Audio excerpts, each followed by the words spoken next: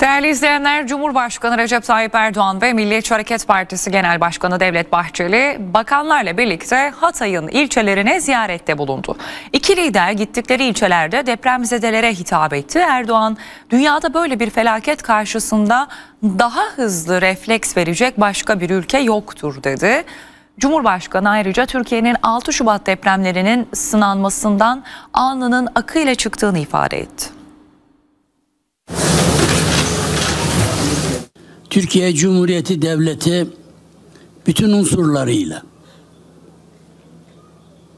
kamu kesiminde çalışanlarımızla devletin her kademesinde yönetimde bulunan insanlarımızla ve değerli Mehmetçiklerimizle komutanlarımızla ülkenin bu felaketten aşılmasında üstün bir gayret gösterilmektedir. Böyle bir felaket karşısında Türkiye'den daha hızlı refleks verecek bir ülke yoktur. Bunu ülkemize gelen yabancıların bizzat kendileri söylüyor. Bahçeli ve Erdoğan Hatay ziyaretini sürdürdü. Akşam saatlerinde ilçe ilçe son durum hakkında bilgi aldı. Cumhurbaşkanı Recep Tayyip Erdoğan ve MHP Genel Başkanı Devlet Bahçeli Hatay'ın Samandağ, Defne ve Antakya ilçelerinde ziyaretlerde bulundu. Açıklamalar yaptı. Erdoğan dünyada eşi benzeri olmayan arama kurtarma sayısına ulaşıldığını söyledi. Milletimiz 85 milyon buradaki kardeşleri için tek yürek oldu. Dünyada eşi benzeri görülmemiş bir arama kurtarma sayısı olan 35 bin kişiye ulaştık. Hamdolsun Türkiye 6 Şubat depremlerinin sınamasından alnının akıyla çıkmıştır. İki lider Samandağ ve Kırıkan'da çadır kentleri ziyaret etti. Depremzedelerle bir araya geldi. Erdoğan beraberinde Bahçeli ve bakanlarla Samandağ'a geçti. Sahra Hastanesi'ndeki son durumu gözlemledi. Yıkılan her şeyi daha iyisiyle, daha güvenlisiyle, daha gelişmişiyle yerine koymamız mümkündür. İktidarımız bunu yapmaya muktedirdir. Bugüne kadar birçok depremde biz bunları ispatladık.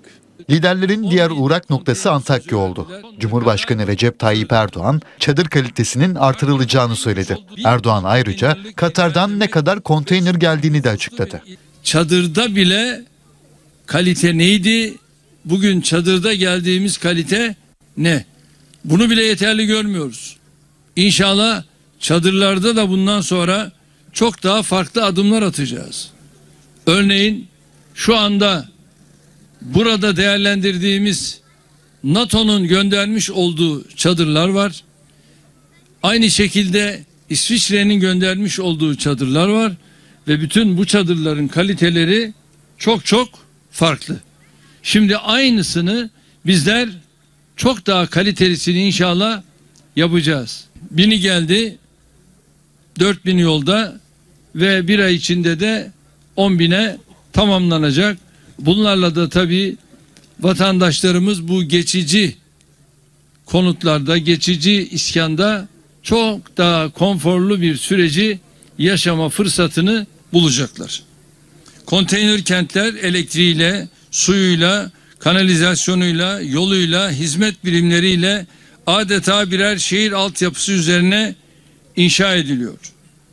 Ve bin konteynerlik bir yer demek, beş bin nüfuslu bir ilçe kurmak demektir. TV100'de Oğuz Aksever'le Günün Gündemi programına katılan Hüdapar sözcüsü Serkan Ramanlı Doğu Perinçek'e yanıt verdi. Partimizin terör örgütleriyle özdeşleştirilmesi kabul edilemez dedi. Ramanlı seçim barajının %7 olmasını da eleştirdi. Ee, seçim ittifakları konusunda bir çalışma içerisindeyiz. Tam bu çalışma üzerinde e, mesai harcarken olur olmaz ithamlarla e, partimizin e, isminin geçirildiğini gördük. Hüdapar sözcüsü Serkan Ramanlı, TV100'de ekrana gelen Oğuz Haksever'le Günün Gündemi programına katıldı. Vatan Partisi Genel Başkanı Doğu Perinçek'e yanıt verdi. E, Vatan Partisi Genel Başkanı Doğu Perinçek, e, Hüdapar'ın Cumhur İttifakı'na bu gelen seçimde katılmasının gaflet ve cinayet olduğunu söyledi. Ee, sizlerin e, anayasadaki Türklük kavramının e, karşı olduğunuzu söyledi. Ee, PKK, e, HDP PKK'yı takip ettiği gibi e, Seyit e, daha doğrusu Şeyh Said'i takip ettiğinizi söyledi. E, bu tür suçlamalarda bulun. Daha fazla uzatmayayım. Öncelikle buna yanıtınız ne olur? Partimizin yasa dışı örgütlerle, terör örgütleriyle bir biçimde anılması, özdeşleştirilmesi kabul edilebilecek bir durum değil. Evet bizler belki bugün Türkiye siyaset sahnesinde e, siyasi varlık gösteren, seçimlere katılmaya çalışan ya da halkın temsiliyetini elde etmeye çalışan siyasi partiler gibi değiliz. Evet onlardan bir tanesi olmuş olsak muhtemelen onlar içerisinde siyasi yürüyüşümüzü devam ettirir. Müstakil bir parti olarak kurulmazdık. Ramanlı seçim barajını da eleştirdi. 2023 seçimleri için de bizim temel hedefimiz mecliste bir temsiliyet elde edebilmek. Çünkü siz de biliyorsunuz, konuklarınız da çok iyi biliyor. %10 seçim barajı e, hakkaniyetten Yüzde- uzak bir Yüzde engel. yedi. %7.